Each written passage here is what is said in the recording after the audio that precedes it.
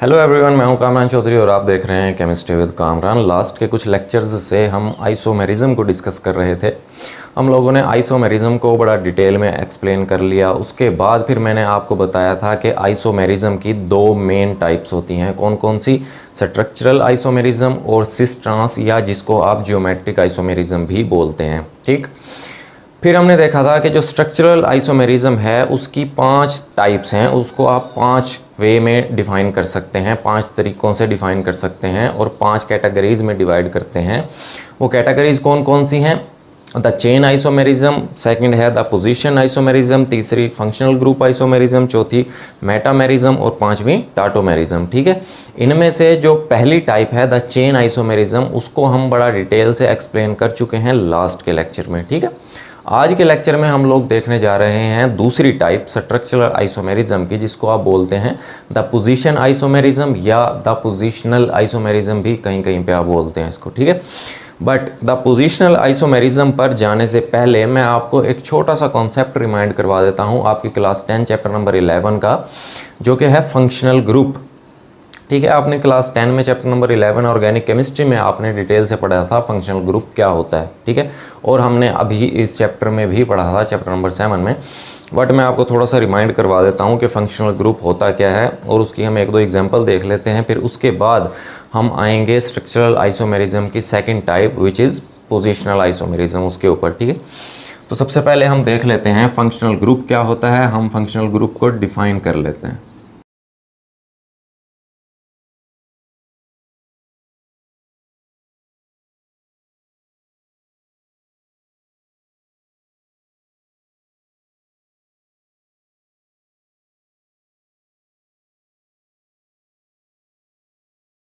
Okay तो functional group को आप कुछ इस तरह से डिफाइन करते हैं कि द एटम और ग्रुप ऑफ़ एटम्स एक एटम भी हो सकता है या एटम्स का ग्रुप भी हो सकता है।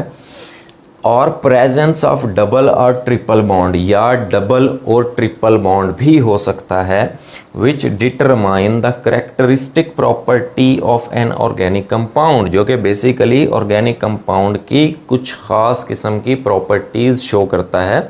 उसको आप क्या बोलते हैं? फंक्शनल ग्रुप बोलते हैं। आसान वर्डिंग में मैं आपको समझाऊं कि फंक्शनल ग्रुप होता क्या है। बेसिकली किसी भी कंपाउंड में ना एक एटम या एक से ज़्यादा एटम भी हो सकते हैं, या डबल और ट्रिपल बॉन्ड भी हो सकता है। तो इस चीज़ की प्रेजेंस मीन्स के एक एटम या एक से ज़्यादा एटम भी हो सकता है, या डबल या ट्रिपल बॉन्ड भी हो सकता है। तो इन चीज़ों की प्रेजेंस से आप बेसिकली क्या फाइंड आउट कर लेते हैं?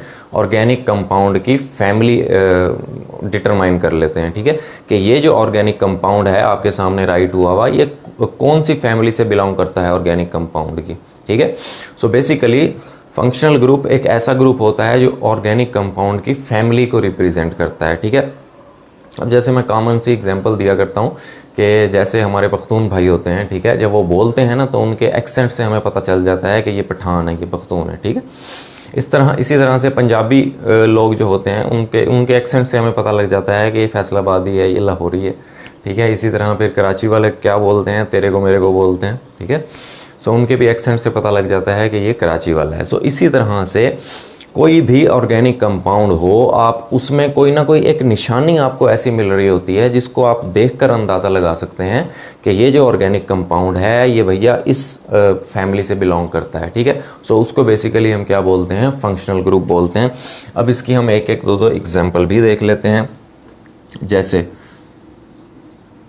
सबसे पहले मैं लिख लेता हूँ क्लास नेम या फैमिली ऑफ़ ऑर्गेनिक कंपाउंड ठीक है? इसी तरह से फिर हम लिख लेते हैं जनरल फार्मूला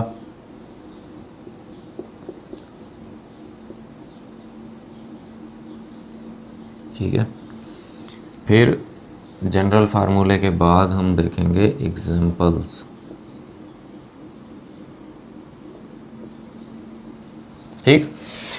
अच्छा सबसे पहले तो हम देख लेते हैं फंक्शनल ग्रुप एल्कोहल अब अल्कोहल का फंक्शनल ग्रुप का जनरल फार्मूला क्या होता है? R single bond O H ठीक है? अब ये आर किस चीज़ को रिप्रेजेंट करता है? ये रिप्रेजेंट करता है अल्काइल ग्रुप को। अल्काइल ग्रुप क्या होता है? कि अगर आप अल्केन्स में से एक हाइड्रोजन लेस कर देते हैं देन वो अल्काइल बन जाता है, ठीक है? सो जनरल फार्मूला आ गया ये अल्कोहल का, और इसकी एग्जांपल में हम देख लेते हैं कि इस अल्काइल ग्रुप की जगह सपोज़ मैंने अगर मिथाइल लिखा है, ठीक है? तो ये क्या बन जाएगी? ये बन जाएगी मिथाइल अल्कोहल ठीक है? इसी तरह से एक और हम एग्जांपल देख लेते हैं ईथर अब ईथर का जो जनरल फार्मूला होता है, वो क्या होता है?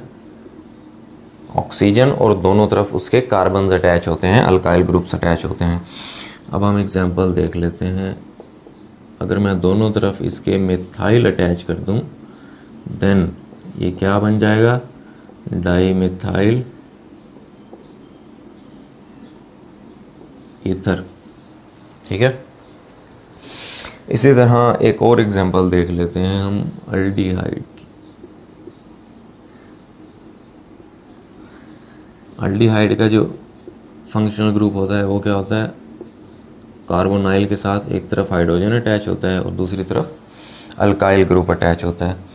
सो so, यहाँ से हम देख लेते हैं एक एग्जांपल अब देखो इसमें दो कार्बन है ठीक है?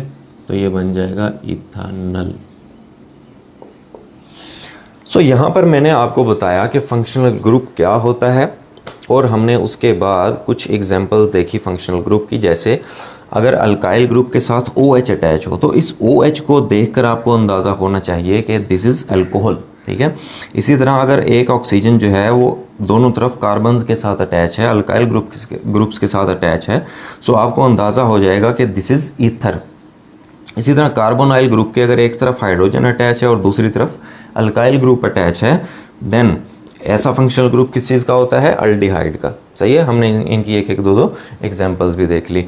अब क्योंकि हम फंक्शनल ग्रुप बड़ा डिटेल से डिस्कस कर चुके हैं सो अब आपको इजी हो जाएगा ज़रा स्ट्रक्चरल आइसोमेरिज्म की second type which is position isomerism उसको समझना।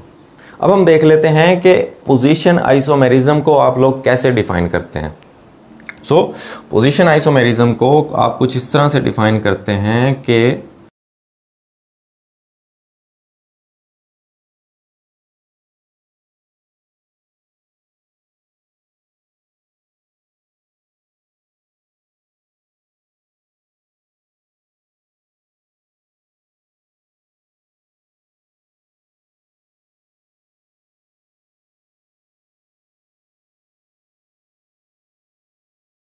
okay so the position isomerism या द पोजिशनल आइसोमेरिज्म को आप कुछ इस तरह से डिफाइन करते हैं कि दो या दो से ज़्यादा compounds having same molecular formula जिनका मॉलिकुलर फार्मूला क्या होगा? सेम होगा but different structural formula structural formula different होगा। अब वो स्ट्रक्चरल फार्मूला डिफरेंट होगा किस वजह से?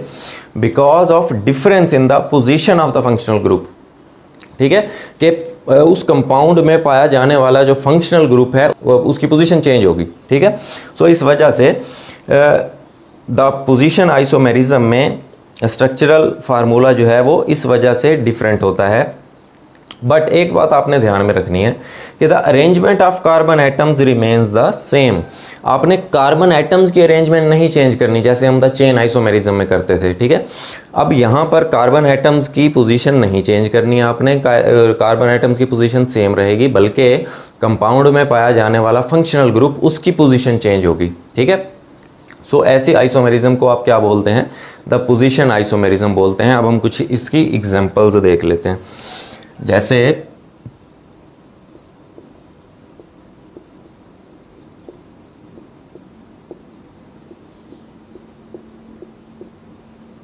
पहली एग्जांपल देख लेते हैं हम क्लोरोप्रोपेन की।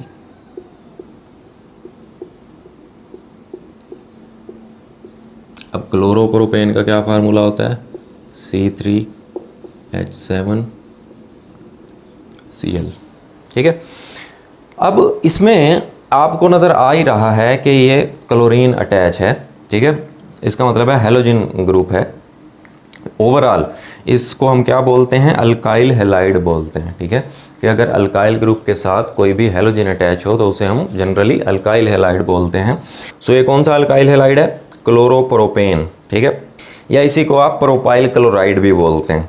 सही है? अब इसका स्ट्रक्चर बनाने के लिए कितने कार्बन नज़र आ रहे हैं आपको? तीन कार्बन नज़र आ रहे हैं। वन टू एंड थ्री ठीक है? अब ये तीन कार्बन नज़र आ रहे हैं आपको। अब ये जो क्लोरीन है, ये किसी ना किसी एक कार्बन पे तो अटैच होगा, ठीक है? तो मैं इसको लास्ट वाले कार्बन पे अटैच कर देता हूँ, ठीक है? सो अब हम हाइड्रोजन्स कंप्लीट करते हैं। इस कार्बन ने एक बॉन्ड बनाया हुआ है, एक लाइन नज़र आ रही है आपको, ठीक है? सो हम तीन हाइड्रोजन अटैच कर देंगे, इसके चार हो गए, क्योंकि कार्बन जो है वो चार बॉन्ड बनाता है मैक्सिमम एटॉमिक नंबर छः होता है, पहले शेल में दो इलेक्ट्रॉन और सेकंड शेल में चार इलेक्ट्रॉन ठीक? सो इसको चार इलेक्ट्रॉन्स की ज़रूरत होती है अपना ऑक्टेट कंप्लीट करने के लिए. इसी तरह से ये कार्बन को देखो. इर्द गिर्द देखो ना, दो लाइना ने, एक तो दो, ठीक है? तो इसका मतलब है इसने दो बॉन्ड बनाए हुए हैं तो दो हाइड्रोजन अटैच होंगे, ठीक है? सेम केस इस कार्बन के लिए भी, कि इस कार्बन के इर्द गिर्द भी दो लेना ने। वन एंड टू सो इस कार्बन ने भी दो हाइड्रोजन के साथ फर्दर ये बॉन्ड बना के अपने चार बॉन्ड पूरे कर लेगा। अच्छा अब ये जो कंपाउंड आपके सामने इस कंपाउंड के जो स्ट्रक्चरल फार्मूला मैंने राइट किया, ठीक है? क्लोरोप्रोपेन का। अब ये कौन सा क्लोरोप्रोपेन है? ये है वन क्लोरोप्रोपेन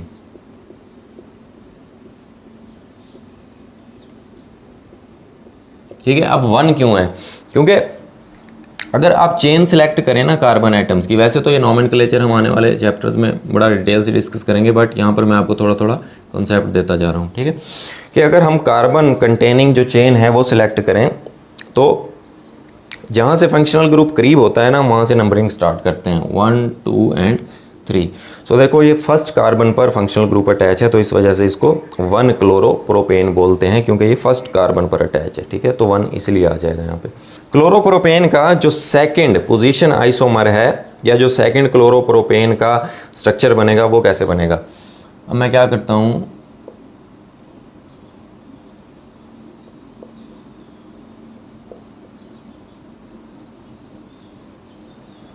क्लोर क्लोरीन जो है मैं इस कार्बन से उठाकर कहाँ पर अटैच कर देता हूँ? दरमियान वाले कार्बन पर अटैच कर देता हूँ, ऐसे। ठीक है? अब आप देख रहे हैं कि हर कार्बन के चार बॉन्ड पूरे हैं, ठीक है? इस कार्बन के तीन और एक चार। इस कार्बन के one two three and four इस कार्बन इस कार्बन के थ्री एंड फोर ठीक है? अब अगर आप जब आप इसको नाम देंगे तो हमने सेलेक्ट करनी होती है कार्बन चेन ठीक है? अब आप देखें ज़रा, अगर आप यहाँ से नंबरिंग स्टार्ट करें वन टू एंड थ्री तो आप देख रहे हैं कि सेकंड कार्बन पर अटैच है क्लोरीन ठीक है? या आप अगर इधर से नंबरिंग स्टार्ट करेंगे वन टू थ्री फिर भी आप देख रहे हैं कि सेकंड कार्बन पर क्लोरीन अटैच है। सो इसको आप कैसे नाम देंगे? टू क्लोरोप्रोपेन का, ठीक है? क्योंकि सेकंड कार्बन पर क्लोरीन अटैच है, ठीक है? सो इस तरह से ये जो दो आपके पास स्ट्रक्चरल फार्मूलाज आए, दो बेसिकली क्लोरोप्रोपेन के स्ट्रक्चर्स आए, इनको आप क्या बोलते हैं? पोजीशन आइसोमर्स बोलते हैं और इस फिनामिना को आप क्या बोलते हैं? पोजीशनल आइसोमेरिज्म बोलते हैं। सेकंड एग्जांपल देख लेते हैं ज़रा। ब्यूटीन की।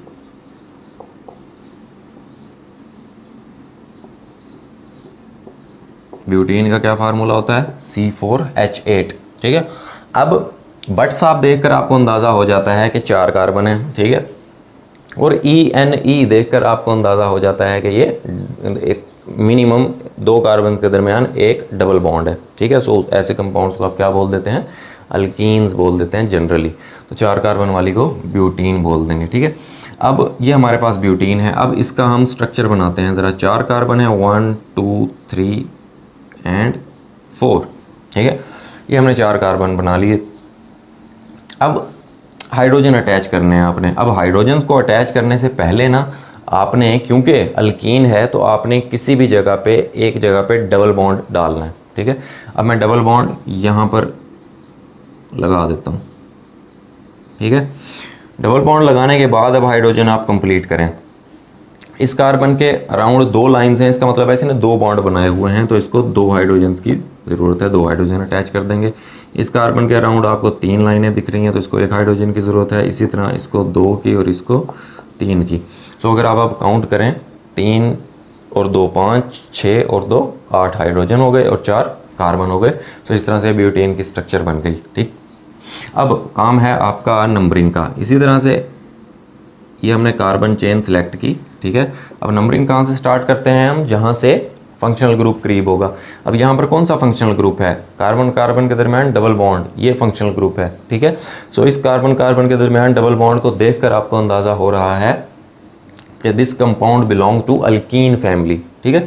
सो यहाँ से आप नंबरिंग स्टार्ट करेंगे one two three and four ठीक है? अब फ़र्स्ट और सेकंड कार्बन के दरमियान डबल बॉन्ड है, ठीक है? सो आप कैसे नाम देंगे इसको? वन ब्यूटीन मीन्स के पहले कार्बन के बाद अगर डबल बॉन्ड है, ठीक है? तो इस वजह से इसका नाम क्या हो जाएगा? वन ब्यूटीन हो जाएगा। अच्छा इसका एक और हम आइसोमर बनाकर देखते हैं, जिसको आप बोलोगे पोजिशनल आइसोमर अब हमने क्या करना है? उसी तरह से चार कार्बन बनाए मैंने, ठीक है?